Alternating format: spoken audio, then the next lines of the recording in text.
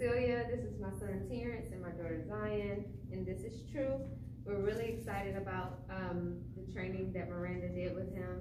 Um, before we came, we had a lot of issues with mouthing, um, him jumping up on us, jumping up on people that came to our home.